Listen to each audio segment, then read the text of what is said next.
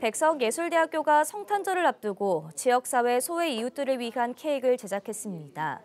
학교는 21일 교내 자유동에서 외식산업학부 제과제빵 전공 학생들이 손수 제작한 케이크 150여 개를 지역사회 복지관인 사랑의 복지관에 전달했습니다.